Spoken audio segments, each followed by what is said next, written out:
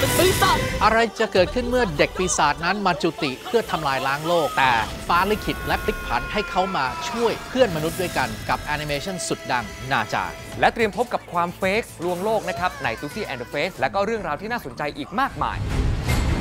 กับผมนิทรัน และผมแคนอติรุธนะครับ เราพบกันในรายการซีโรลอยคืนวันพุธที่ 4 ธันวาคมนี้ เวลา 5 ทุ่ม 10 นาทีโดยประมาณทางช่องวัน 31 ครับ Celluloid.